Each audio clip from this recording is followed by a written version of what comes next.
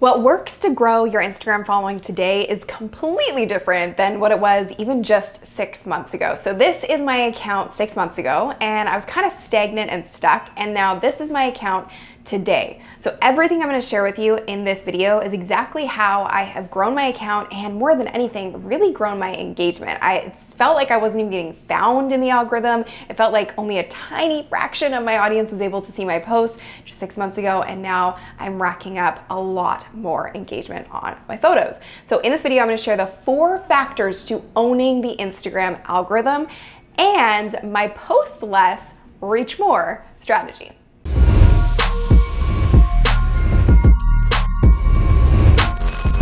Let's bring it back to January 22nd of 2019 when Instagram released this statement. Instagram tweeted, what shows up first in your feed is determined by what posts and accounts you engage with the most, as well as other contributing factors such as the timeliness of your posts, how often you use Instagram, how many people follow you, etc. We have not made any recent changes to feed ranking and we never hide posts from people you're following. If you keep scrolling, you will see them all. Again, your feed is personalized to you and evolves over time based on how you use Instagram. Interesting thing to note here is that Instagram actually hasn't really changed at all. Their algorithm may seem like it's gone through ups and downs, but it really hasn't changed all that much.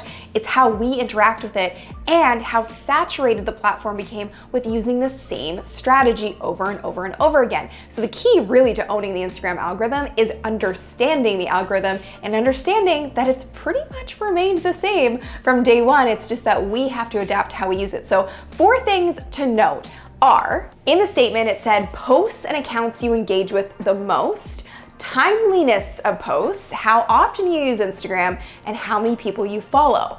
I paid super close attention to those key phrases within that statement and started implementing some changes on my account, and that's really what led to skyrocketing growth and engagement on my account. So let's dive in to those four things. Let's start from the bottom up. So the first thing is how many people you follow. Now, before you go and follow like 1500 people at once, that's not really what this means. It's more so about looking at Instagram as a business because it is a business after all. And the business is built on social interaction and retention on the platform, meaning how long are people staying on the platform? And if you can get people to stay on the platform, then Instagram's going to like you a lot as an account and benefit you in the algorithm. So a couple things that I do. You may have noticed that in every one of my YouTube videos, I always say, take a screenshot, you can do that right now, and share it out on Instagram and tag me. When you do that, which a lot of you do, so thank you, you tag me and it shows up in my DMs and I'm able to comment back and forth with you.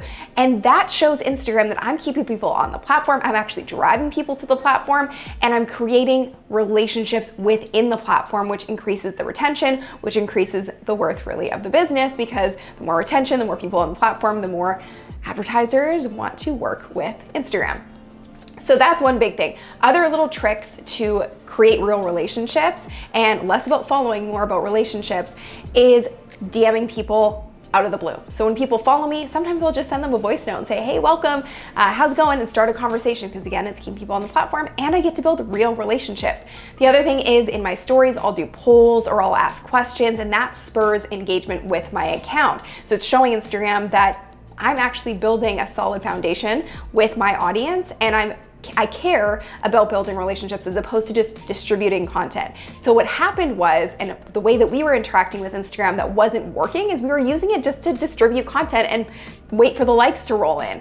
That's no longer how you can use Instagram. Now you have to use it super actively. So you, when you're doing a post, ask questions in the comments, get people to comment on your post, comment back and forth with them, create that sense of engagement, comment in the DMs, create conversations in the DMs. Don't sit back and wait because Instagram wants you to show the platform that you're actually creating retention. So that's tip number one to owning the algorithm. Tip number two that was made very clear in that statement from Instagram is timeliness of posts. That one little phrase really triggered me.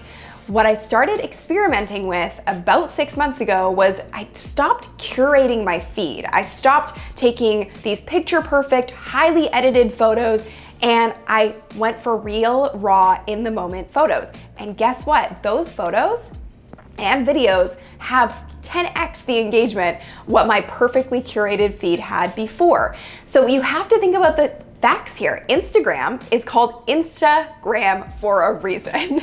It is about capturing your life in videos and photos in real time. So right here, right now. That was the whole ethos and purpose of the platform when it first started. So I'm not saying you have to do every photo in the moment right now because you still want it to be quality and you want to have a caption that really engages people.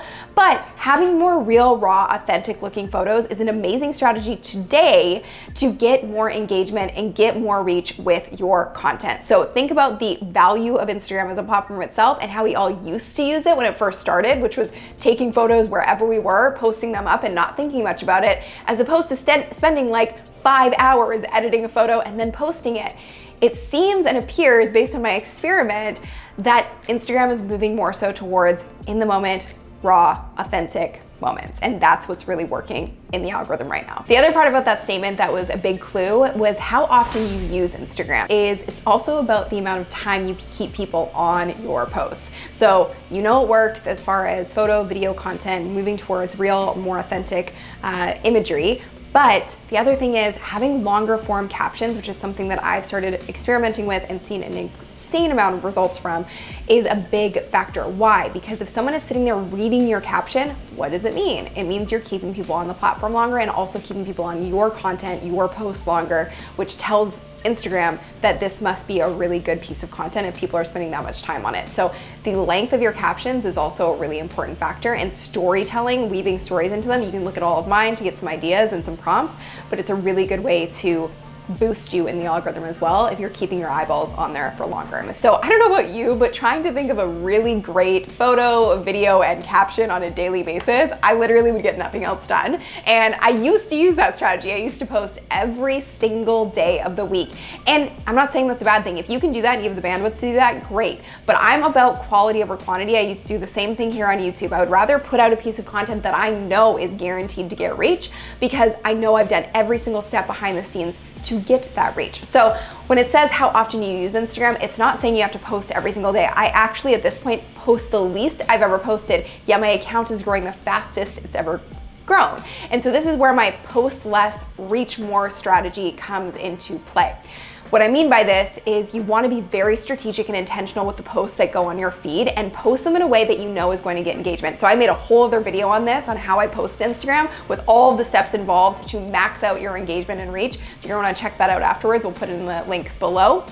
But outside of that, it's about using stories. So I don't post on my feed every single day, but I pretty much use stories on Instagram every single day. Why?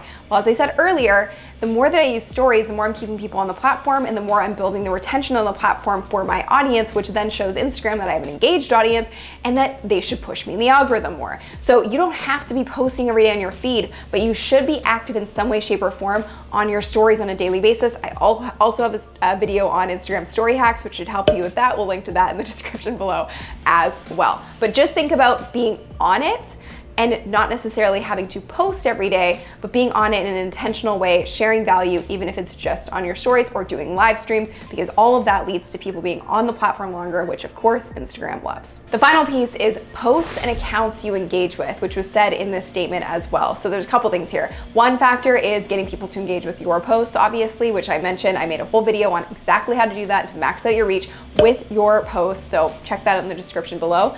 The other piece here is that it's again telling you that if you want to own the Instagram algorithm, and Instagram's literally telling you this in the statement, if you pay really close attention, this is what I've been experimenting with over the last six months and you've seen the growth that I've had, if you are using the platform actively, meaning that on a daily basis, something that I do is I go in and I comment and I like and I share content from other accounts because again, that tells Instagram that I'm actually using the platform, I'm actually active on it, and I'm influencing my audience because the things that I'm sharing, they're getting more involved in, they're sharing that content on their stories, etc., etc. So doesn't mean you have to be on the platform every single day. I usually map out 10 minutes a day to go in and engage with accounts with a similar audience to mine talk to people in the comments of some of the posts and captions on these accounts to further my reach and to build more relationships and get people over to my account. But 10 minutes max, that's all you need. So go and engage with other accounts outside of your own because again, that's keeping people on the platform, it's keeping you on the platform, and it's telling Instagram that they should favor your, your account because you are actually active and you're not sitting back waiting for people to come to you, which is a strategy that just does not work anymore. I wanted to share one final note with you that I think should be really encouraging because when it, when it comes to building your personal brand, especially online, there are so many factors that go into it. And there's a lot of advice out there to look perfect, have a perfect aesthetic, get a photo shoot done, etc., etc., which all those things can work. But I am noticing a big trend, especially in my own experiments and on my own account, of reversing and going back to real, raw, and authentic content, as I mentioned earlier, and seeing the engagement spike when I did pieces like that.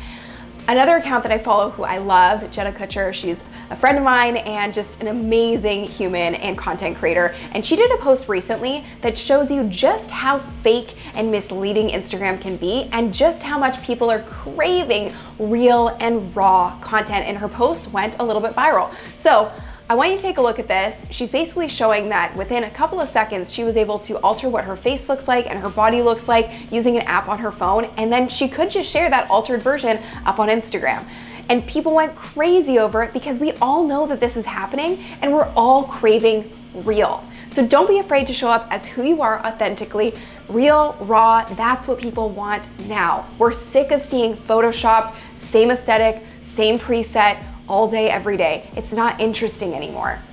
So take it from someone who has almost a million followers on Instagram, Jenna, and the trends that she's moving towards.